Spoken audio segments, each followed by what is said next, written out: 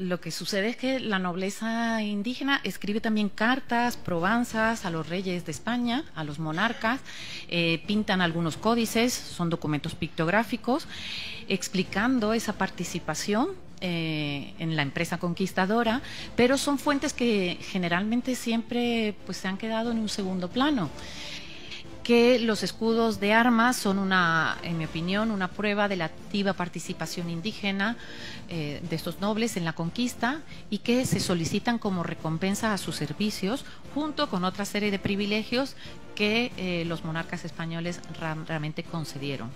Que Carlos V y Felipe II eh, entregaron a estos nobles, a solicitud de ellos, por esa participación en la conquista. Bueno, ellos escriben varios argumentos que vamos a ver y pues los monarcas españoles están de acuerdo, le conceden estos escudos y por la famosa Translatio Imperi. Son también símbolos de estatus social, es una deferencia y un reconocimiento por parte de la corona española que rememora la grandeza de los antiguos señores como grandes conquistadores. Estos escudos se labraban en las fachadas de las casas, en las iglesias, en, tu lugar de enterramiento. Entonces el pueblo podía ver que el nuevo señor del otro lado del mundo estaba reconociendo a sus antiguos señores. Entonces es algo de prestigio. Ellos están legitimados frente a su pueblo, los nobles indígenas. Y en el caso de cuando reciben un escudo de armas los pueblos, ellos ascendían a la categoría de ciudad. Los, eh, los indígenas normalmente vivían en pueblos, mientras que los españoles vivían en villas o en ciudades. Entonces, al momento de recibir un escudo de armas, tú subías de categoría a la categoría de ciudad.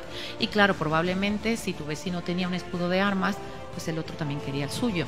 Y bueno, eso hizo que, pues que se, activaran muchas cartas al monarca para solicitarle también eh, la categoría de ciudad y contar con la protección real, que luego en la realidad parece que tampoco era muy efectiva, o sea, no, no iba mucho más allá.